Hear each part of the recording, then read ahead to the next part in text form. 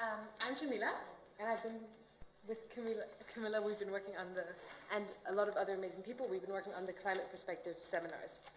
Um, and for those of you who don't know, these seminars are happening for five weeks, and they're looking at climate change through a bunch of different perspectives. So there's been law, or there's, last week was on politics, this week is going to be through the perspective of development. Um, then there's also going to be economics, uh, individual action, and uh, law. So we want to give you a warm welcome tonight for this very exciting seminar with a, a pretty amazing speaker. Yeah. Um, I just want to briefly mention also last time was on Larry Lohmann, and he talked about how climate change has always been, is very focused on like the Western discourse. Um, so even though the communities suffering the most are the poor communities of the global south, um, international politics are still very much focused on maintaining, um, yeah, maintaining Western discourse. But yeah. Great. So I am, my name is Camilla. I am the, uh, I have been leading the group convening these climate perspective seminars. Um, and I am uh, an undergraduate student here at SOAS as well.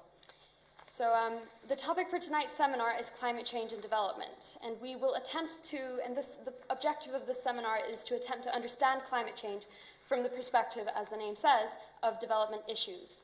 We want to illustrate the importance of fully integrating climate issues in the development discourse and we want to similar, similarly emphasize the significance of development issues for discussions on climate change. Um, the talk will be 45 minutes, and it will be followed by uh, a Q&A session um, in which you're also very welcome to open questions to the floor, if you like. Um, we ask that you make your questions brief, um, and we will, the Q&A session will be about 25 minutes. We will try to end the seminar at around 10 to. Um, if you'd like to tweet about these seminars, the hashtag is Climate Perspectives.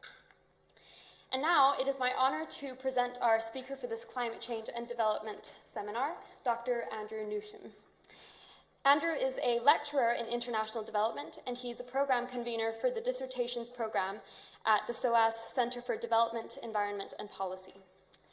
Andrew has previously been a lecturer and convener at the Institute of Development Studies at Sussex University and at the University of Oxford, Oxford, he's been a postdoctoral fellow in international development at the Climate Change Research School. He wrote his PhD in African Studies on local participation in conservation and development initiatives in Namibia and Argentina.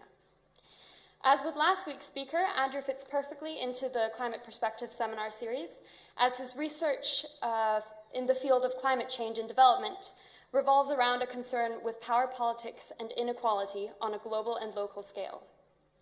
Andrew has conducted extensive research in Africa and South America, and he's currently conducting research in Ghana, Kenya, Mozambique, Tanzania, and Mexico. He currently focuses on three major research areas, these being the vulnerability of local communities to climate impacts, the role of ecosystems-based adaptations in protected areas, and on the political economy of climate-compatible development. And now I'm not going to say much more. Um, I think it's quite obvious that we have uh, found the perfect speaker for tonight's seminar. So I'd like you to please give a warm welcome to Andrew Newsham. Thank you very much, both of you, for that very glowing recommendation, which I am um, not quite sure I'll live up to, but I'll, I shall do my best. Um, and nice to see you all here. It's, uh, it's quite late now, but uh, it's, it's great to see you, to have a proper uh, number of people in the audience. Um, thank you all for coming.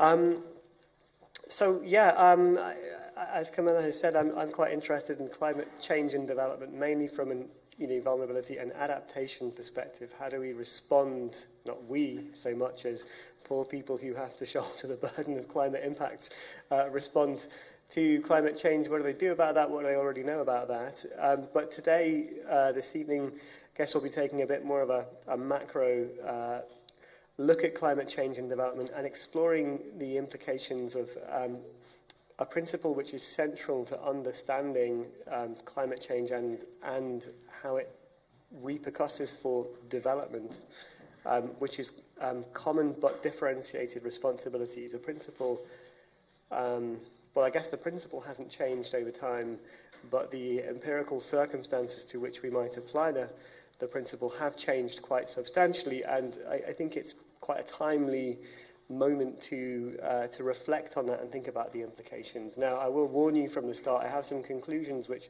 they're a bit depressing and they're classically academic. I'm not telling you how to do anything about this, how to resolve it. Haven't really got there myself uh, in those terms, but at least if we can understand the problem, then maybe we can have a sensible conversation about what to do about it. So that's where I'll take you up to you tonight, and therefore the focus of the seminar will be a brief introduction on climate, climate change and development. I'm not going to take you through the climate science, I believe some of that has been covered already, and I'm sure you already knew that anyway, all you super smart people in the audience. So I, I am going to spend a little, a little bit of time on the so what, why would we worry about climate change, and uh, some of the impacts, um, and how to think about some of the impacts, and how, what level of worry we might want to have about them, and hopefully in a way which sort of starts to bring out some of the issues around inequity and social justice, which are at the heart of trying to understand the implications of uh, climate change for development, um, possibly vice versa as well.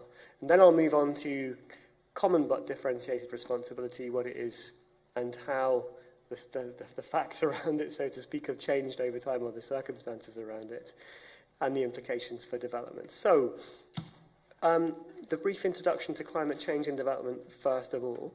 Um, let's take development on a very, very broad sort of scale of um, human activity um, in recorded history, if you like, uh, with a view to establishing ever greater and larger um, collective organizations and processes um, around particular sort of material dynamics and, and states of affairs. Um, I think that's kind of a very broad brush, crude statement of what's been going on, um, you know, in, in terms of, uh, of our history of, of, in terms of the history of society anyway, uh, and how we've tried to organize ourselves. And a lot of how we've tried to organize ourselves is actually intimately linked to um, a period of time known as the Holocene, which you can see on this graph. Now, I don't want to set this up as some kind of sacred truth, if you like. Um, there are, it might be problematic to, to describe um, the crisis that we, that we face in, in, in this term, in, in these terms, but let me just um, spell out how it, how it has been described and, and the, what we have to think about and the potential risk that, that, that we face. So if you look at this this graph. I don't want to go into all of the science behind it, not least because I'm not a climate or even a you know, uh, climate scientist, atmospheric physicist, or geologist, so there's only a certain extent I can speak to this diagram.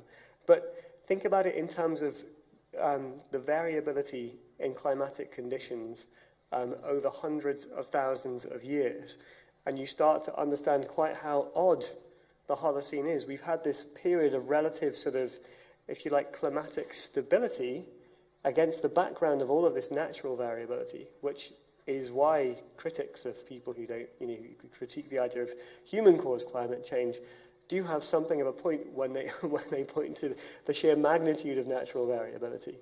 But if you look at sort of, you know, some of the temperatures that, you know, that um, the, the Earth went down to, a lot of what we've come to take, take for granted, such as um, the great European civilizations. This is a, this is a diagram from a, uh, an article by uh, Johan Rockström and others talking about um, planetary um, boundaries. Um, I should have put the reference on. Those aren't my words. But if you look at, you know, important events in the history of, of, of collective human existence, the beginning of agriculture, the emergence of, I mean, you, I don't know how comfortable I am with the idea of a great European civilization, but of um, collective organization on that level, um, uh, sort of focused around particular modes of political activity, be they democratic, imperial, um, whatever, um, technologies uh, and institutions which, which allow for a greater level of, of coordination of humans and um, control over, over physical territory. Again, it, it happens in the Holocene. It's, if you like, it's a facilitator of some of the most important historical trajectories and processes which define our times today. Now, some people are starting to argue that we are moving into, or indeed have already moved into, something called the Holocene, sorry, the Anthropocene, this is um, another geological age whose key sort of um, signals and drivers in terms of global environmental change are caused by humans uh, and are characterized by humans more than by natural variability. This, again, is something that, you know, uh, we, we could debate and discuss. If, you, if I mean, I'm, I'm, I'm aware of these debates. I'm not sure how good I would be at following them in, in any detail, but I, I know that some stratigraphers, for example, and, and other types of geologists um, are concerned by the idea that, that it, we can measure in geological terms uh, the effect of humans upon, upon the planet and the makeup of the planet.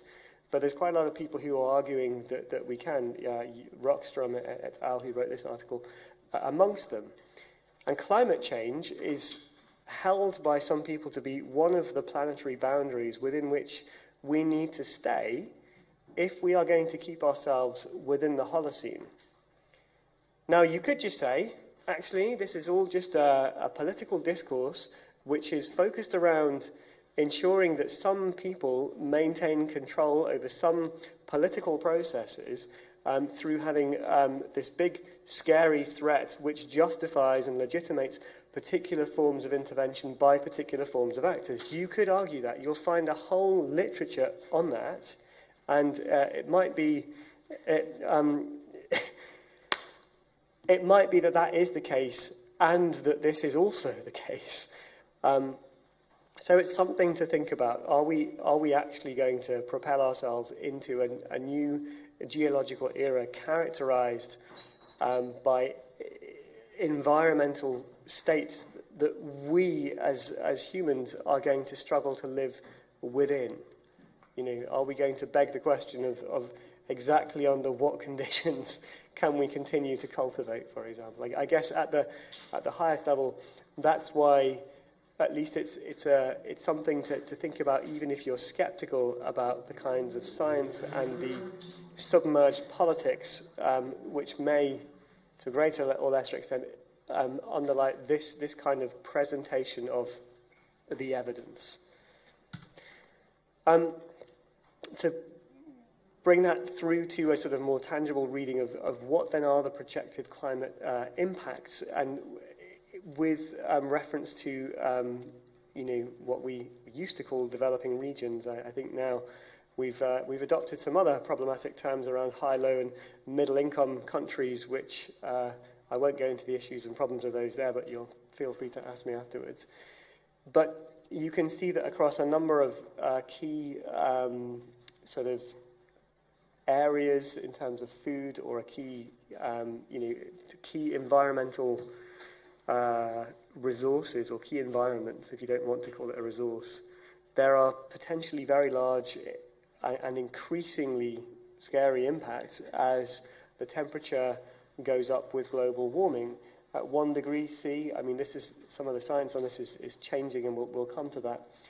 Generally speaking, things aren't as bad as they are if we get to six degrees global, global average. That is a global average. Six degrees C global average temperature rise probably means something like 20 degree uh, temperature rise in the poles where, where, where we have the ice caps. So that's, that's why there's this big concern about you know, things like sea level rise that, that may start to threaten uh, major cities. And giving ourselves more to do in terms of trying to maintain um, development trajectories, be that defined purely in terms of you know, maximizing economic growth and returns from, a, from, a, from economic activity, or be that defined in terms of reducing multidimensional poverty, achieving some state of well-being, however you know, however you want to do that. At some point, there are going to be um, material effects which you're going to make it harder to to um, to maintain or to protect if uh, if climate change does reach six degrees C. Um, by that point, we might well be out of the Anthropocene, but, but nobody actually knows, um, as far as I'm aware anyway. So, why climate change is or should be a fundamental concern for development should be relatively obvious. If you look at the distribution of climate impacts, uh, the ones that we're, we're most scared about around water scarcity, demography, um, that's a bit more um, problematic, let's say, but there are demographic, there are demographic um, things happening in particular parts of the world which may not intersect in ways which are which are very helpful, I guess, um, with, with other stuff that's happening, such as crop decline or, or hunger, um, coastal risks, etc. So there's a, there's a bunch of things which, in terms of their geographical distribution, mean that development practitioners have really started to think about the consequences of climate change for the kinds of places that they're working in, for the kinds of places in which they want to see some kind of good change. I guess that would be my definition of, of development. I, I wouldn't, I'm not going to offer a definition of good in that context here. Um, I guess it would, uh, it would have to be much more context specific and, and therefore not, not universal.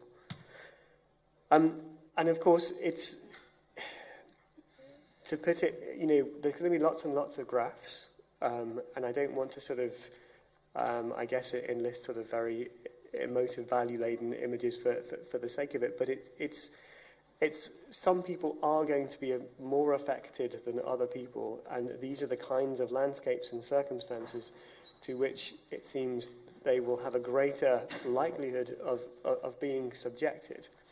And of course, this is one of the issues at the heart of the, um, the intersection between climate change and development is that the people who are least responsible contemporaneously or historically for the production of climate change are uh, most in the firing line, so to speak, in terms of where um, climate impacts are, are, are projected to, to occur uh, and, and indeed to, to make things that we do and things that we feel we need to do or that we do need to do, like eat uh, or get water, more difficult. Now, whatever we do about climate change now, even if we decided globally, right, that's it, no more global em emissions, we're just going to we're going to turn off climate change, uh, carbon emissions or greenhouse gas emissions tomorrow, if that were possible, we would still be locked into some level of, uh, of future climate change. Um, you know, in terms of temperature stabilization, might take a few centuries. Sea level rise might carry on um, similarly for, for up to a thousand years. We don't know because it all depends on what happens and how many emissions we, we, we put into the atmosphere, what levels of ocean acidification actually occur, um, and uh, how precise we can get in terms of our oceanography and our atmospheric physics about how many um, particles of, uh, of this or that greenhouse gas lead to how many degrees of warming. There is still controversy and uncertainty over that. We have models and assumptions about it, but I, I think you know that there are there are things still being learned about about how that works, even though it comes from science, which originates in, in the 19th century. But whatever we do do, we've put enough um, into the atmosphere as it is that it's going to carry on going for, for quite a while, whatever our response to it is.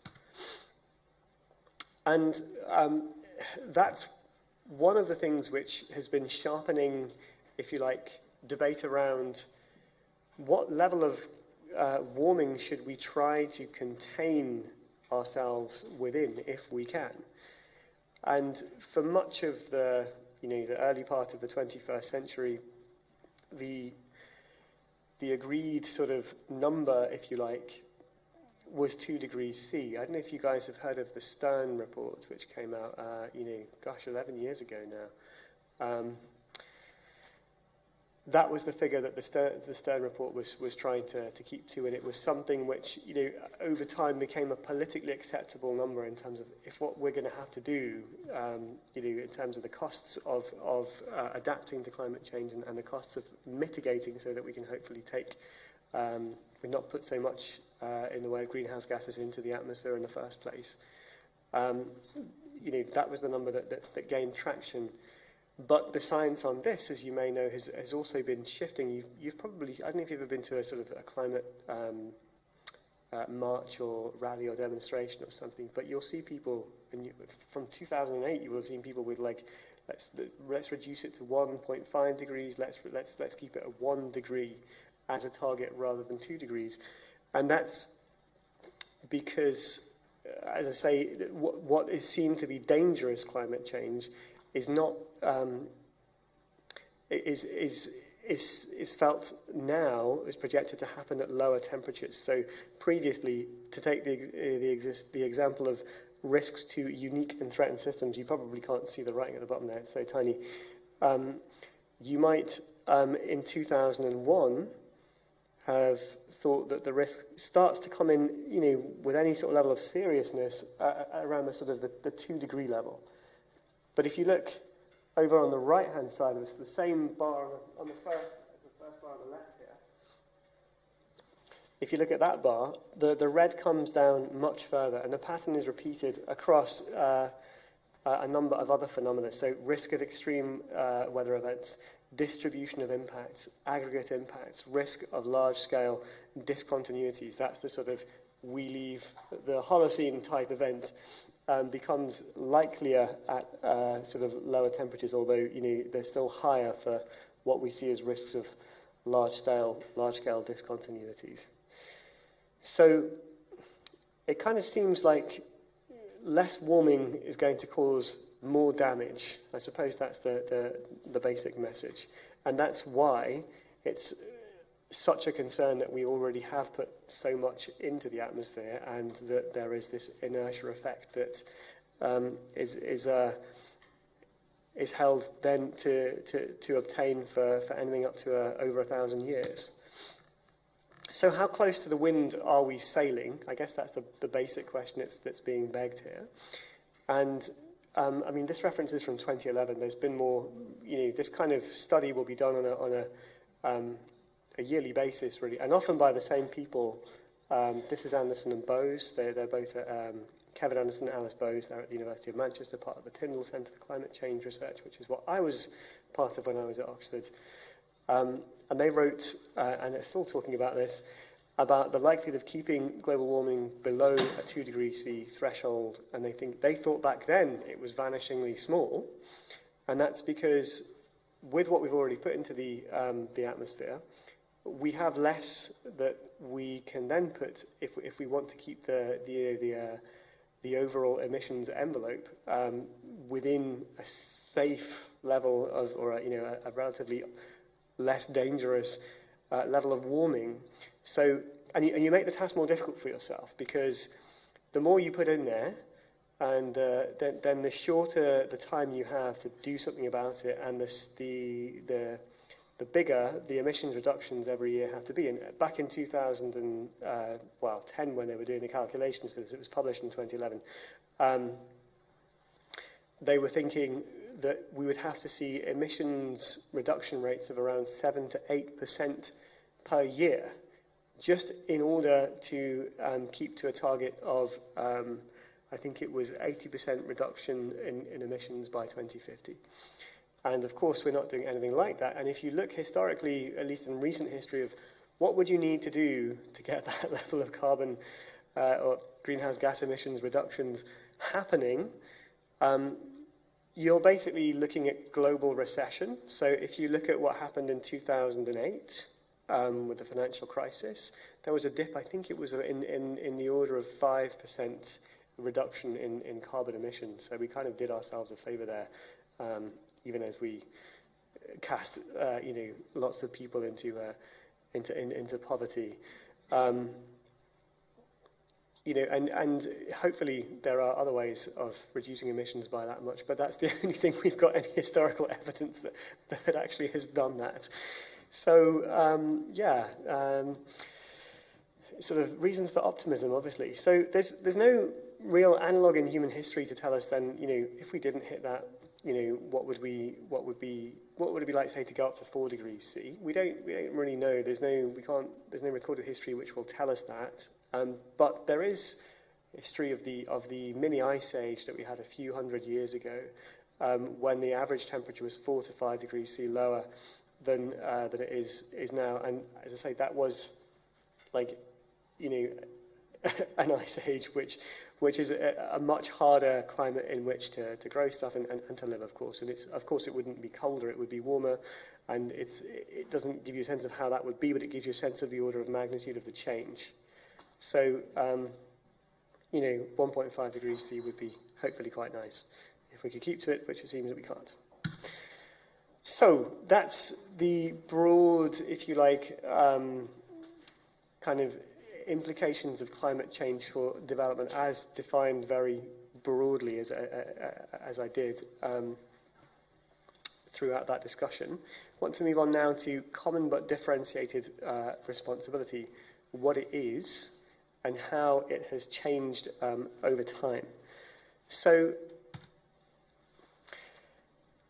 It's a principle basically that was established um, as part of the United Nations Framework Convention on Climate Change, the UNFCCC, uh, which you may have come across at some point. And that's one of the international environmental conventions that emerged from the 1992 Rio Earth Summit, right in the, the sort of halcyon days of sustainable development. We're going to do it. Everyone's kind of enthused about it, uh, you know, uh, and there was an energy around it, which, which is... Uh, is, which is difficult to find today, sadly. But maybe we can reactivate it somehow, and maybe there's more stuff going on under the surface than we realize. But um, the idea is that everybody bears some responsibility for climate change, but some substantially more than um, others because of primarily in differences in, in the historical responsibility for climate emissions. Because of this point I mentioned before about the distribution of exposure and vulnerability to climate impacts and because of differences in the resources that some countries have available to fund adaptation and mitigation relative to other countries. So you can't expect someone who hasn't really caused the problem to take the lead on solving it, is, I guess, the basic idea.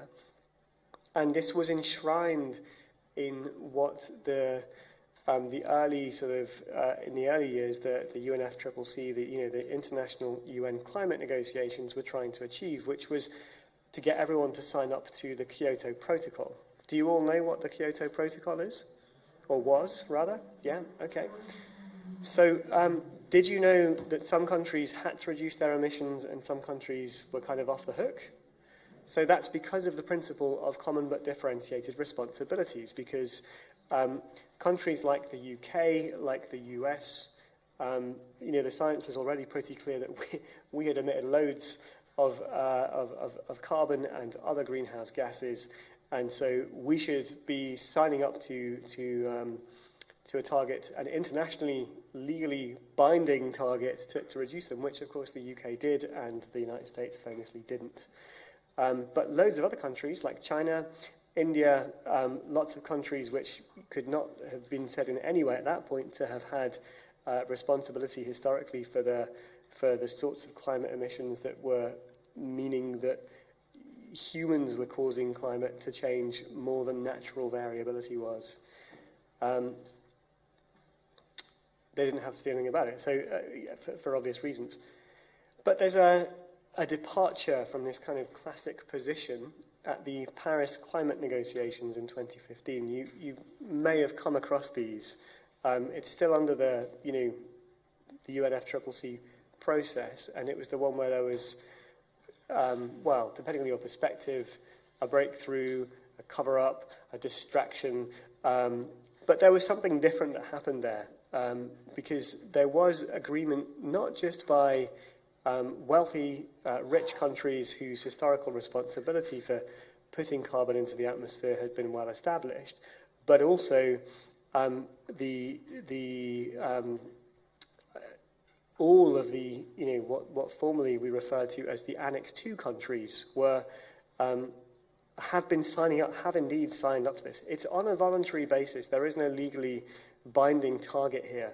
But, um, but um, loads of countries, and especially the ones with the, with the highest level of, uh, of, of emissions, have been coming up with their plans for how much they are going to reduce in terms of carbon emissions and within what time frame, even though there are arguments over the baseline and should it be 1990 or should it be 2005, which is the one that suits countries um, like China or India or Indonesia or Mexico um, better.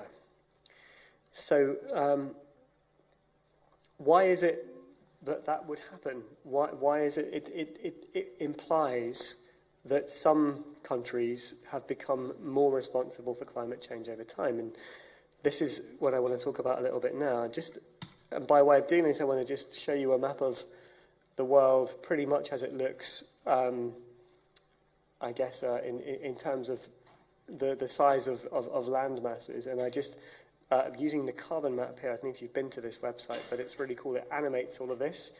But I've tried to do this before in lectures, and I've never actually been in a lecture theatre anywhere where the internet actually works. So I've just done some screen grabs. Um, but go and go to the actual um, website itself. Um, because it shows you all of this uh, in, in, in animated ways. It's, it's not just, it's, it's cool in a very saddening and depressing kind of a way. But this, this shows you sort of, in, in terms of the distribution of, of land masses, this is what countries tend to look like, so we think, and the, um, the, the levels of wealth within those countries, and you won't be surprised that the lighter colours are poorer countries and the darkest colours are the richest countries. So um, the thing that this map does is it changes the size of the country according to their, the, the, the propensity of, uh, of that country to contribute or not to to any particular of the phenomena that, that this software maps. So, look what happens when you look at historical uh, emissions and current emissions um, per capita. So the colours change. The colours change to indicate per person how many tons of CO2 are emitted each year. And we can see, you know, there's no surprise really here in, in, in, in the culprits. The UK looms pretty large, the United States looms even larger. That's what we'd all expect. Um, some parts of the African continent, you, you, you just, they, they disappear. You just, I, I, you know, where is Sierra Leone? Where is Liberia? Where is, where is the Democratic Republic of Congo, one of the biggest, you know, countries in the world? So, um, I, I guess it's a sort of, you know, a, a, a visual tool to, to, to get us to think about uh, uh, about this. And it, it, it follows very much this sort of narrative of, well, we have responsibility in the West or the global North, whichever you prefer, um, to, to deal with this because look historically that we've caused the problem. However, um, if you look at um, CO2 emissions both in per country terms and per capita. I'll, I'll get to this. Um, it's harder to, dis to uh, disentangle the responsibility because China um, overtook the US in 2008, was it? Or 2009?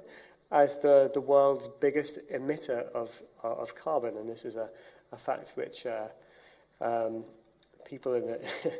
you, you, the uh, United States Environmental Protection Agency have, uh, have um, have propagated in, in many different fora, not, not just them, but, but lots of people. There is a sort of change, if you like, in the calculation around responsibility if China is emitting the same as uh, the United is, is emitting, sorry, more, substantially more than the United States, then who becomes responsible for dealing with climate change? And um, where does that common but differentiated responsibility lie? Do we now give more responsibility to China, uh, even if we don't give less responsibility to the United States, uh, although the United States, as we know, is now even less interested in the climate negotiations under Donald Trump than it was. I challenge you to go and find anything on the, uh, the uh, White House website these days about climate change. It's all been taken down. As will the Environmental Protection Agency be by Scott Pruitt, it would seem. So if you look at the incidence of poverty per capita, it's, I probably should have chose different, chosen different colours, but you see that um, the, the lighter colours are the ones where there aren't very much, there aren't very many emissions, and the darker ones are where there are quite a lot. So the US, for example, shrinks into a very bizarre kind of um, shape. Um, you know, but is, is deep red at the same time. um, whereas the African continent, you know, some of it on, on my screen is actually invisible. It's that, it's that sort of um, light in colour. So, um, but, but it looms so large on the map because of the incidence of poverty. And again, it says something um, uh, around the fact that poor people um, tend not to contribute very much to climate uh, impacts, but of course they're very much exposed to the distribution of those impacts. 15 minutes, okay. I'm, I'm good for time. I think I'm going to finish before 20 past 8.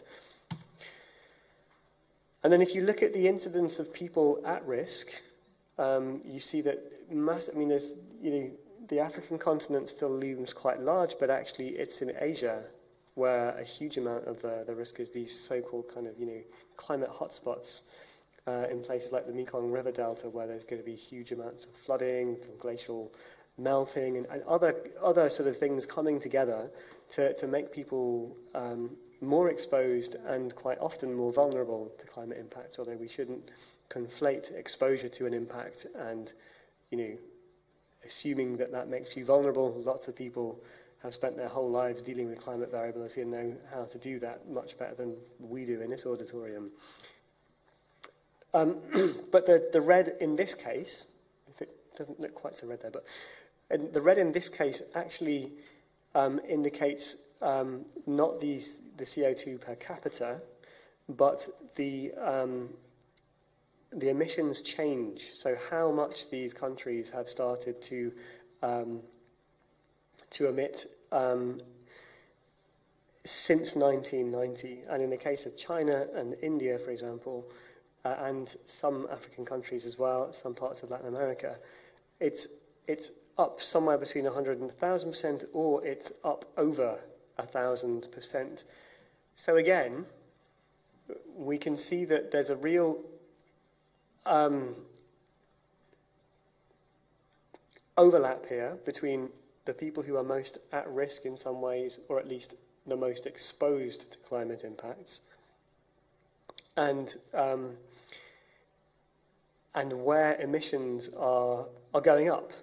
So um, again, it raises questions about who then becomes responsible for dealing with climate change and what form that response should take on.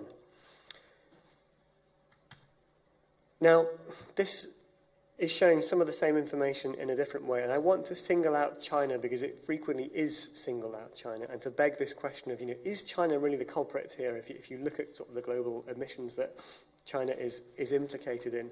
And on this graph, you would, well, you might say, well, yes, it is, because if you look from 1990, the, the, the line that goes up really radically is, is China's line. Um, the, uh, the, the other line near the top there is the US. They have a bit of a dip again. It's because of recession rather than because they're being really good with their emissions reductions.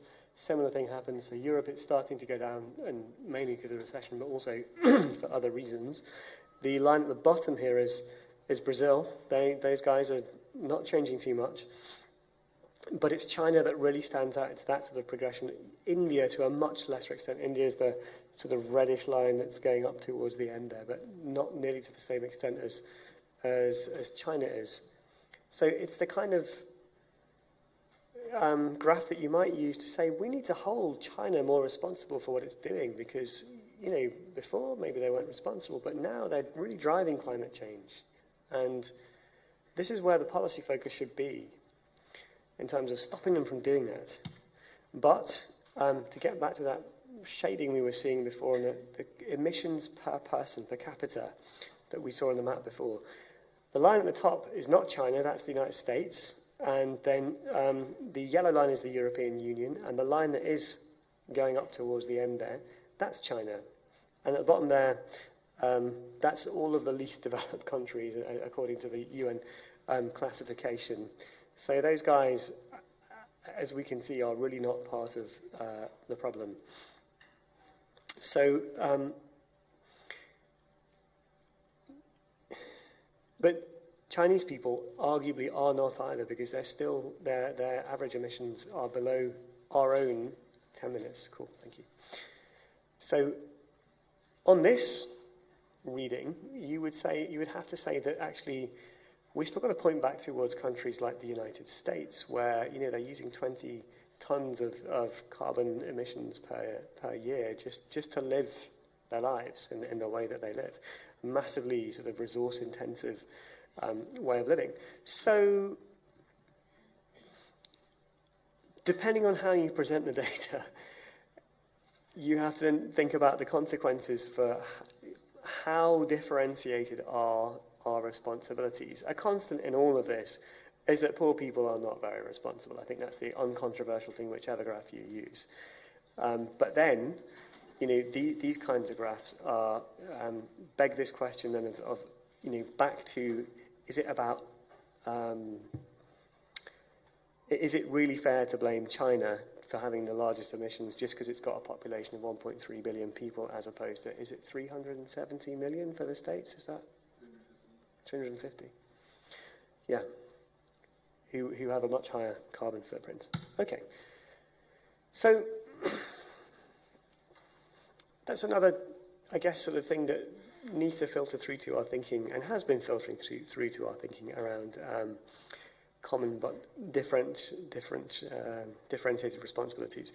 Um, but there's another set of considerations which, if you look at a country like China, um, start to come into play. So, um, if you look at the subnational um, element, uh, dimensions in China and start to ask there, okay, what responsibility is borne and by whom? And it also becomes quite tricky. And this is in the context of China. I mean, we can talk about it as the world's largest emitter. It's also the world's largest, largest producer of renewable energy technologies, as I'm sure that you all know. Um, and it's got some, um, you know, it's got some pretty serious commitments to reducing carbon intensity, um, even if those are not necessarily measured to the standards that some environmentalists would like. It's a big step in the right direction, just like Donald Trump is a great step in the right direction if you are on the alt-right.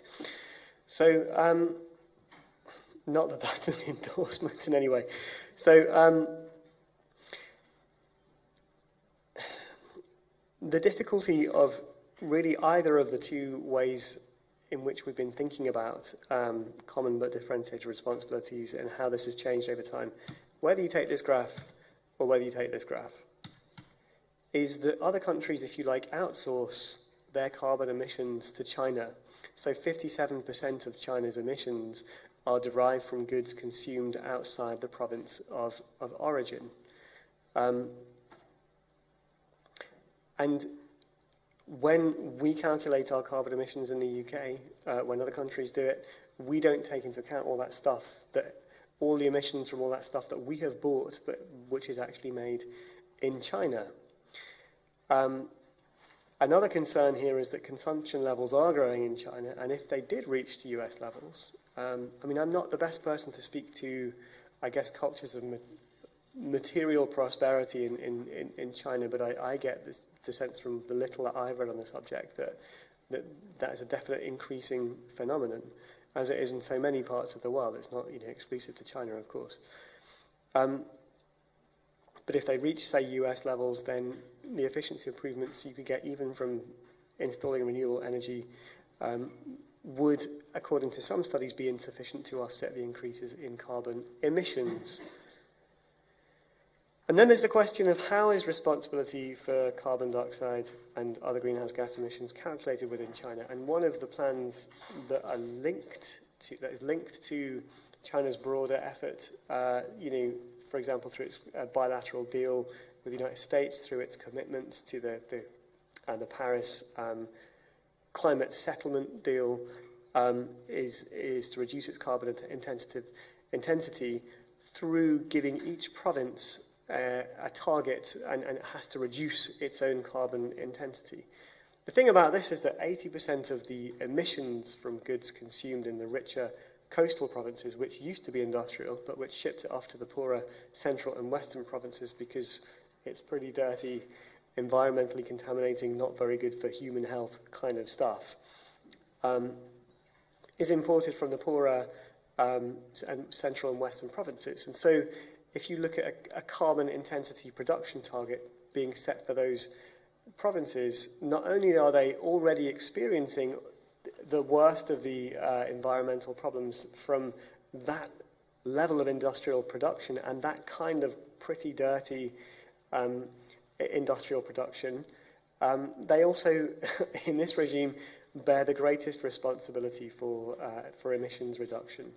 Whereas richer provinces which consume the goods made in these poorer provinces will more easily meet these targets. So this dynamic of the teleconnectivity, if you like, of um, responsibility is manifest both, both globally and you know, subnationally, just within China. This is without looking at any other country, but of course China is a very interesting um, case study because whatever happens in China is going to make such a difference to, to the rest of us. So, um, to conclude, um, common but differentiated responsibility remains a fundamentally relevant principle um, in terms of working out who should make decisions about what in relation to dealing with climate change. Um, there is still a very strong correlation between bearing the cost of climate change and other environmental problems and not being responsible for carbon emissions, and that's the area it, you know in which I guess climate change continues to touch most upon what it is we should be thinking about and doing in relation to development activity. Be that defined narrowly in terms of aid land or the kind of you know, national development trajectory that, that governments like the Chinese government are pursuing so, so actively. Um, current global trajectories of development at the moment, especially those rooted in serving uh, global consumption as a conduit to economic growth, and we haven't quite financialized the whole of the global economy just yet, continue to perpetuate a dynamic in which the poorest tend to um, suffer most in one way, shape, or form. And then the changes in which uh, countries are the biggest emitters uh, arguably reproduce rather than resolve the questions of social justice at the heart of thinking on common but differentiated um, responsibility, as we saw, for example, in, in the provincial breakdown in China. So I shall uh, leave it there for now, but that's it. Thank you very much.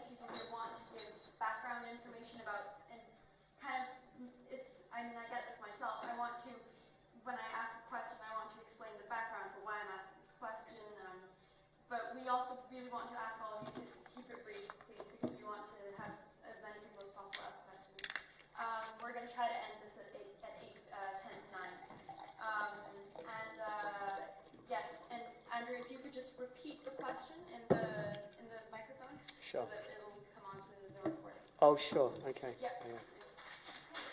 Um, any questions or do you need some time? Yeah. First question is about development, because I failed to get any idea about what development is in your book. And I think this is a problem. The problem is that you talk about current global development strategies, but I don't know what that means. Um, the trajectory of the world's economy is debilitating, as you know full well. And what we need and when I say we, I mean the world. What the world needs is an idea about how this trajectory is going to be confronted with sound policies to deal with the contradictions emerging as a result, which climate change is just one of them. So you needed to, I think, in your lecture, the question is, what is development? How is it connected with the problems that you've outlined? Yes? And to bring out the causal story more, because the causal story seems to be lacking.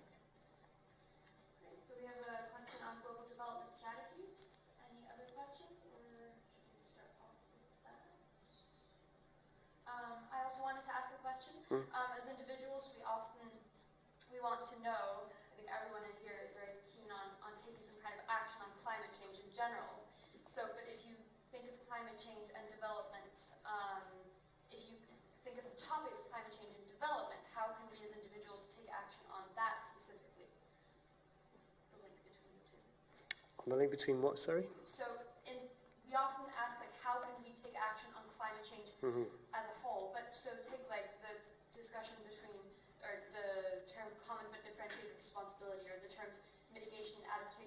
In say when we go to marches or when we write articles about it, or when which terms should we be using? How should we be thinking about it? What in your objective is the most effective way for us to address the link between climate change and development? And that probably also, in some ways, links to your question. Um, Jamila has a question as well? I think my question also links close to yours. Um, but looking at China and looking at the, the trade, like the huge emission rise, that also was linked to a huge financial rise. Um, and in common like discourse of development, it's very much linked to industrialization. Do Mhm. you think that sustainable development and economic growth can go hand in hand? Or is that like, is the term supposed to need to be? So let's start off with those three questions. Okay, thank you for three very good questions. The first one, um, I guess broadly, what is my definition of um, development um, and what kind of um, you know, policies, sound policies, we would need to confront the, the current trajectory and, and the, the problems that we're having with it and the contradictions that are emerging, the, the causal story, um, which I haven't said very much about, um, in terms of how development is causing climate change, I think was your, was your point.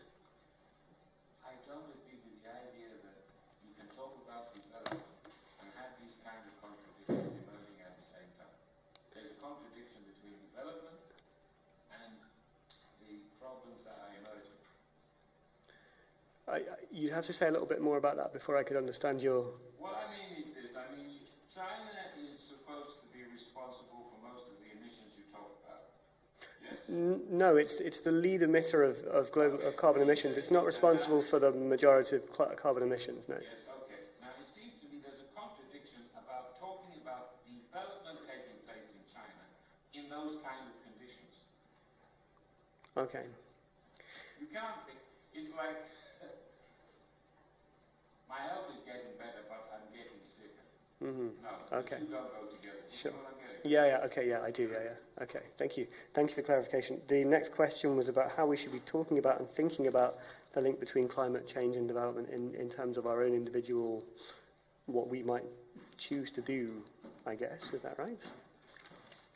And the third one is about can we have sustainable economic development in the future?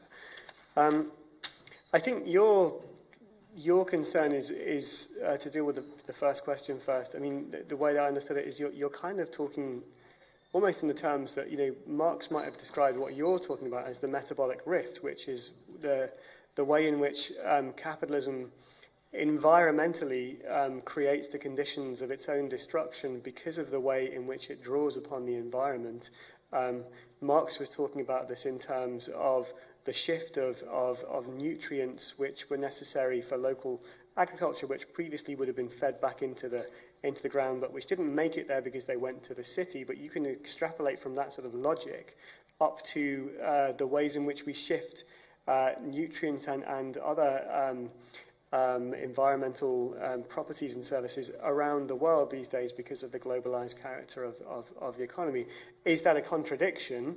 can we, can we rely on that model to solve the problems of climate change? Well, that, of course, is the question of the 21st century, yes. Um, so, um, and you're right, I didn't dwell very much on the extent to which development, if, if you understand it uh, as efforts towards maximizing global economic activity, Okay, you, would you like to clarify?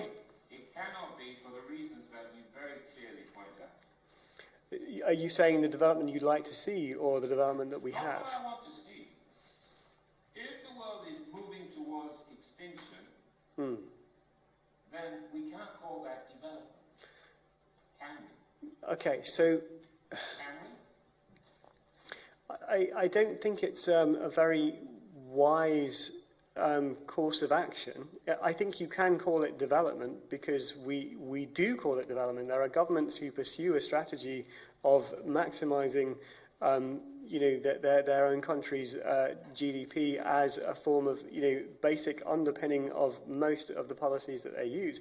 Whether we would want them to do that is another question, but I think that there is a, a sense in which that, that exists, however contradictory it, it, it may be. So, but don't call it development. That's what I'm saying. okay, so we could call it neoliberal capitalism. How, how about that? Would that? But it's destructive. You see, this is the problem. The language, the language of the so-called development theorists like you is destroying, is contradictory in the sense that what we see from this this development in inverted, in, in inverted commas is destruction. Um, well, it's very kind of you to acknowledge me as a development theorist. I don't know if, I, if I've quite uh, reached the, the, those uh, echelons, but um, um, I, in terms of is, is it, can you call something development which will destroy itself or parts of the planet? Maybe I'm just, it seems, sorry, there's something it seems that I'm not getting in what you're saying because every time I say it, you sort of shake your head. But let me just, yeah, I think. Uh, as a global system right now it is and and it, therefore arguably and this is the question it speaks to your question as well can can we reform um, what what now seems to be quite a destructive model in terms of its own uh, in terms of its own internal logic to to be to be less so? That's the question that I posed at the start of the uh, the lecture on are, are we going to go out of the Anthropocene? In terms of you know are we going to you know, destroy the world. I don't think we are. It's, it's more that we're going to move into a kind of uh, social ecological state that we might struggle to exist in. That's the thesis of the Anthropocene in its most sort of like environmental prophecy of, of, of doom kind of uh, uh, guise, if you like, is, is that we, the Earth will survive. We're not going to, you know, blow it up or something and say that there's nothing left of it. It's just that we are going to um, make our own survival uh, a lot more difficult um, if some of our projections about um, exceeding planetary boundaries um, are, have explanatory uh, purchase and predictive power in the future. Would you call that, therefore, a development trajectory? Yeah, I would. I mean, it's not a development trajectory which is um, is very edifying or very uh, is one that I would particularly espouse.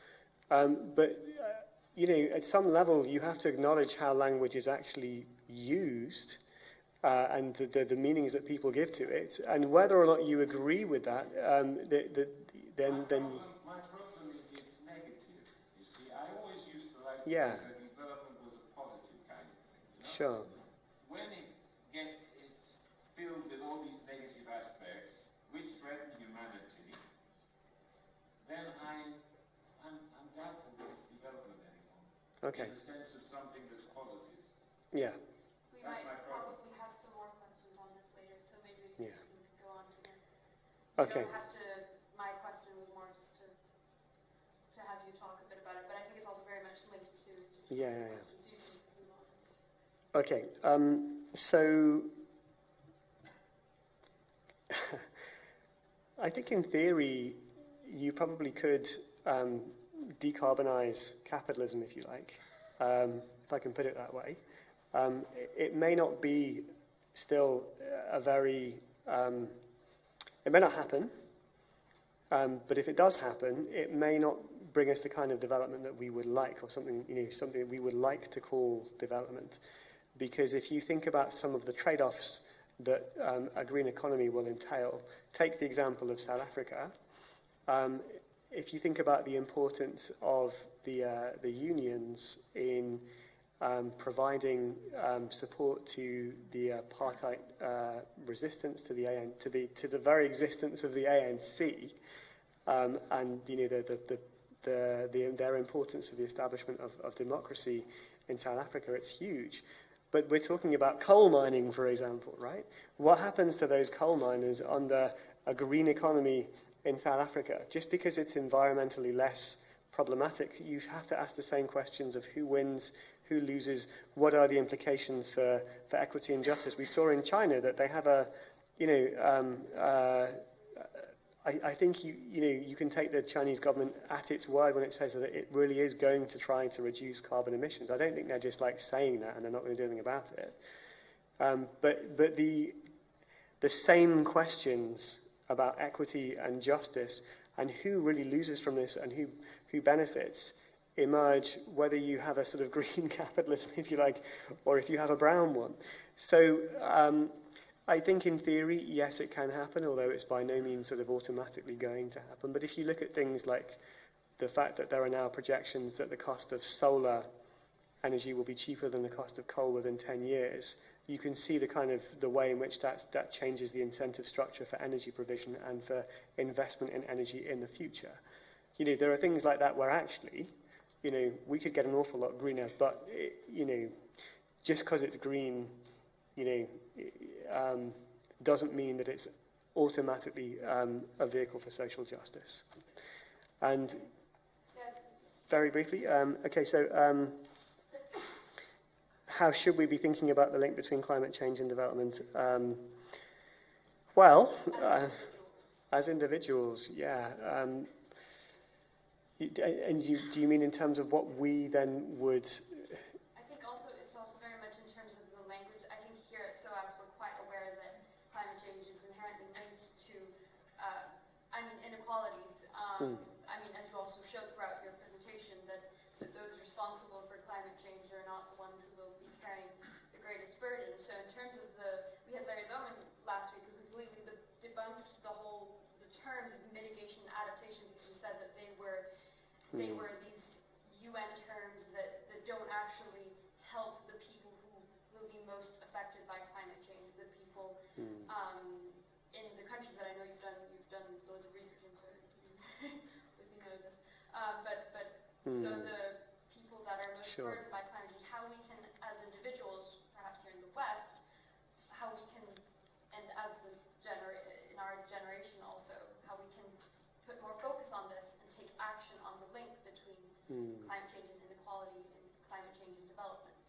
Sure. Yeah. Um, I mean, I guess um, maybe there's a sort of process of contestation there, which you could see in a variety of of, of, of ways in terms of contesting what, what we mean by adaptation and mitigation. For myself, I wouldn't necessarily completely abandon them, um, but of course they they they can be used in ways which reinscribes a politics of indifference towards the fundamental uh, root causes of inequality uh, and of which um, exposure to and vulnerability to, to, to environmental impacts is, is often a pretty, pretty good, if not, per, albeit imperfect sort of, you know, measure. So there is something there about interrogating the use of these terms, even just, I guess, when we're talking about climate change and, and learning about this sort of stuff, I guess.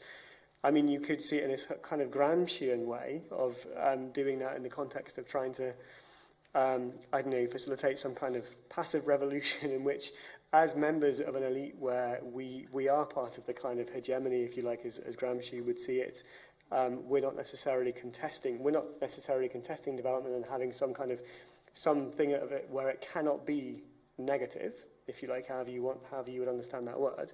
Uh, but we are actually, maybe through the use of the term or whatever, even if we're critiquing it, also uh, contesting it. And, and Gramsci's idea of a, a sort of passive revolution, if you like, would, um, would, would mean subtly influencing the definitions of development, if you like, in the conversations of the people to which we have access. And, you know, we are sort of closer to the elite, I guess, than, um, uh, than a lot of people who say have, have cleaning jobs, cleaning universities, you know.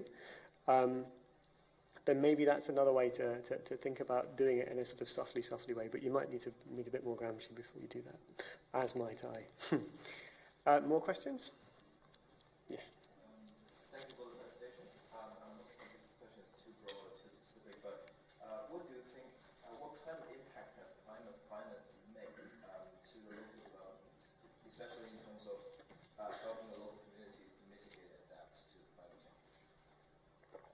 Of the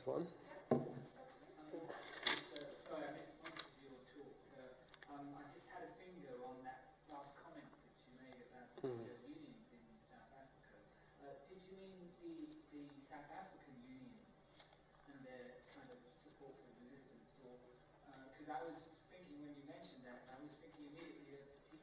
Oh yeah, yeah, yeah, yeah. um, you know, tragically or horrifically, was actually involved in supporting the apartheid regime, you know, and the secret services in the UK and their attempts to destabilize it. And, Mhm. You know, um, but just uh, on this idea of sustainable development, uh, uh, I was thinking of forms of development which actually I would assume are sustainable in, uh, in, a, in a much lower carbon way. And I'm thinking if you take the likes of Japan, um, given its kind of geographical base, it has a lot of natural energy and tidal waves and typhoons and uh, wind and all the rest of it. And I would have thought that technologically there would be much more for Japan to gain from using natural energy as a form of sustenance than their kind of nuclear options. Thank you. Mhm. Yeah. Okay. So We'll just take uh, one more. sure. Um, yeah, I, had, I missed the, the introduction where the Anthropocene was mentioned, um, but I'm kind of curious if you have any critique or deconstruction of the term, because whenever, you know, it's, it's obviously it's used quite frequently, but I think personally I find it quite problematic in the sense that it implies that there's something about a notion of humanity as a whole um, that is that is problematic, right, and that is affecting our geological and, and climatic age. When in, you know, as you pointed out, obviously, um, you have, particularly in the graph, the lowest of many countries, right? You have a significant portion of humanity that's not involved in this process at all. And I think that part of the danger of Anthropocene is that it, it, it lumps the entire planet and also all kind of existing logics of consumption production into one kind of universal tendency. Um, and I think it's I think it's really key, which you did highlight, but it is really key to, to, to emphasize that this is a very specific kind of uh, historical and economic logic that has led us into this position, which is of course now growing, um, but it's not universal. And I think in terms of development implications, particularly in development studies in SOAS, um, I think it has massive implications to recognize um, not just the discursive value, but the material value of post-development theory. Um, in terms of, for example, the Annex Zero countries. Annex Zero is, was a proposal that was came up in COP21 in, in uh, 2015 by Oil Change International and groups from Global South, highlighting the fact that you have you know, Annex 1 and Annex 2, but you also have Annex Zero, right? You have countries that are emitting less than one ton per capita per year. Um, and it's something that in my studies here is incredibly disappointing to me, the like, kind of lack of climate justice narratives um, and the lack of really kind of concrete sort of post-development or radical alternative development theories that are linked to climate justice, which, and I'll, I promise I'll stop in a second. Uh, but I guess my point there is kind of, in a broader sense, right, um, in terms of decolonizing SOAS, in terms of kind of decolonizing climate discourse, I'm kind of curious what your vision is as an academic here for how we might get to that point. How could the development studies department here become both more decolonial and kind of embrace a vision of climate justice? Great. I'm very conscious of time, so I think we'll have to say that this is the last round. Are there any final questions? And then Andrew can go on to answer. Okay, we'll take two Sure. here, two brief questions, and then we'll close. Yeah, um, it might sound a bit negative, but with the rise of kind of right-wing politics in the West, do you think that there is actually much hope for kind of international climate frameworks in the future? And Um, and my question is about the Paris Agreement and whether you think um, it's all a lot of hot air or, or not. Please, I'm not gonna elaborate, but That's fine. Great, thank you. Um, okay, so first question was about how much climate finance actually reaches local people for adaptation and mitigation purposes. Um, I don't think it's very much because if you look at sort of what is what what, what is pledged to deal with climate, uh, you know, what, what, what first of all, if you take say um, the dealing with climate in, in sub-Saharan Africa, I think it's something like the the recent calculation is that 18 billion US dollars is required um, for, for, which sounds actually not very much. You know, there- there's probably estimates that go up to above 100 billion dollars. Um, and if you look at what's actually been pledged, it's about a billion, and what's actually been spent, it's about 379 million US dollars. So there's, so you can see the very, you know, sort of um, you might even call it sort of calamitous attrition of, uh, of uh, commitment there um, in terms of how it actually works out.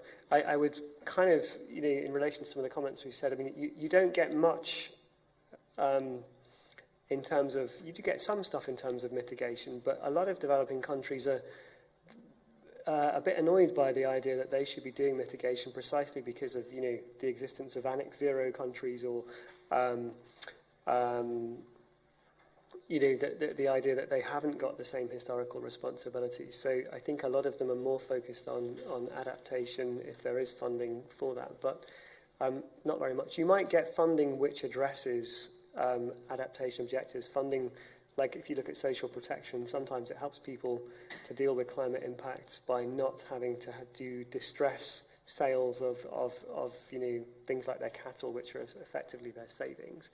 So you can get things like that which are not always measured as an effect and have a, you know, help. But, but in terms of the actual climate finance, it's not that much. So um, the, to clarify about the unions, yes, it was the South African unions that I was talking about. Um, sustainable development as a uh, gosh, I can't read my own writing. Yes, you know, it's a bit like the question we were having before. I mean, it should be possible technologically. It's, it's, it's totally possible technologically for us to, to meet the kinds of climate targets that we have that have been specified by scientists, environmentalists, governments, etc. Um, Scotland has, just to, to say why that's sometimes not happening, Scotland has uh, something like a quarter of all the potential across Europe for wind power generation. The UK could run completely off wind power if, if, we, if we so chose to. Uh, and we're not choosing to, which comes to the question about, about the politics and right-wing politics and does this, this, uh, does this make it harder for, for, for us to, to make some of these changes? Because if you think of people like Trump and not just Trump, I mean, there were Democrats who supported the appointment of Scott Pruitt as the guy who is the, now the head of the Environmental Protection Agency, who has made it his stated aim for many years that he, he wants to he wants to um, destroy it or at least severely limit its, its, its regulatory um, sort of extent and capacity. So, uh, and we don't have a Scott Pruitt in, um, well, we, we do have climate skeptics in, in, in both the development department and, and in the energy department, energy and climate change departments, but it's not nearly to the same extent. And of course, we have laws around climate targets. So, you know, unless the law gets changed, there's, there's a certain amount that we, we have to do. But since the change of the, you know, when, when, we, when we had a Labour government, we were doing quite a lot of this. And, and you know, if you look at, you know, when is climate change ever even discussed these days? It's almost like the elephant in the room, you know, because it's not an issue which has much public, you know, uh, salience anymore, I guess, or as much as it did anyway.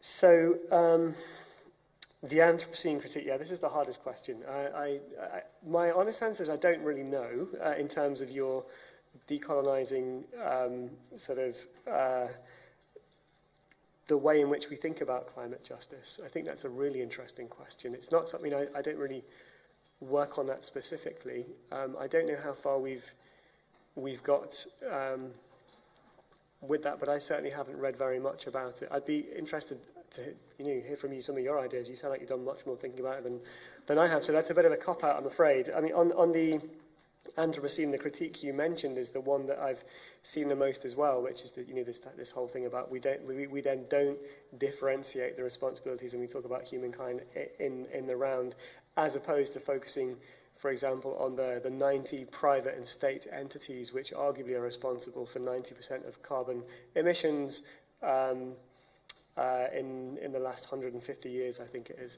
I can't quite remember the, the statistics right now, but I can send you the article if you're interested. Um,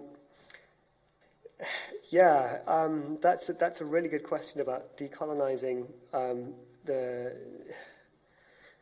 the climate discourse and how would, we, how would we do that. I mean, it's hard enough to decolonize, you know, traditions such as political philosophy where you may be able, you know, it's hard to it's hard to do because there are, you know, and if you think about, I mean, I'm thinking about, say, um, in African countries, often you have a difficulty that, you know, history is not necessarily recorded. People pass down traditions orally or whatever, and some of it survives, some of it doesn't. So it's, you know, going back that far, even things like political philosophy, it's quite hard to, to then do that. But if we, if we, if we, yeah, I, I, I let me put that as something I need to do some more thinking about anyway, and I'm happy to talk about that further. Um, but yeah, it seems quite hard to do in terms of looking at who's writing about climate change right now. But that's a really important question to ask. And, you know, The only concrete thing I could think of is um, some of the initiatives around the fifth assessment report uh, for the IPCC. There were some minimal efforts to get people who had local or traditional knowledge about climate to be represented in the authorship of it, although they were very minimal and there were, there were calls for that to happen more. That's the only thing I can think of off the top of my head. Um, gosh, I can't read my own writing. Um, Rise of the Right, yes. Did, did I cover your question before? Do you think? Kind of, yeah. It was mostly just, do you think that there's actually like, hope for any of these policies? And I guess that also kind of relates to the last Yeah. question about is the Paris Agreement hot air? Sure. I mean, it's tough, isn't it? Because environmental issues are one of those ones which look like sort of the, uh, you know, the domain of the liberal elite, and the liberal uh, elite is, is, uh, is you know, um, has has lost a lot of a lot of ground, if you like. So, it's not in many ways a, a hopeful time for some environmentalists. But then, if you also if you look at the roots of um, environmental politics and the way and the I mean, I don't know, you know, talking about. I, I wouldn't know what to say about a country like China. It'd be really interesting to know how, you know, I, I don't see that China would necessarily change its climate policies because um, the United States is now that it has this trajectory towards renewable energy, for example. Um, but of course, they may not feel like you know reducing their carbon intensity by, by quite that much. Of course, it could have potentially really scary ramifications. I don't think that the Paris Agreement was just hot air. Who's, that was your question, wasn't it? I don't think it was just hot air. Um, it, it's just that, you know, in order to get the level of agreement that they wanted, they had to remove the bit about it being legally binding. And they had to remove the bit about southern countries being able to sue northern countries for historical uh, injustices. Um, so you could argue that it's a very toothless agreement because of you know having just glossed over those two you know issues which arguably are fundamental to the questions of social justice, which climate change is one way into, if you like. Um, but I, I think that there was, um, it was very hard to bring about even that level of agreement, and it, it was in some ways unlikely. And um, let's see. But at the moment, I think that there are quite a lot of commitments. We'll have to see if they're still kept, which will take us to three degrees C of warming. Um, that's what is currently, so there's a gap there, about a 1.5 degrees C gap, if you can take any of these numbers seriously, which I'm, uh, I think we're still working out. Um, but I, I personally think that, that I don't think we should just overlook it as complete, like, you know, I think it, it was hard won, put it that way.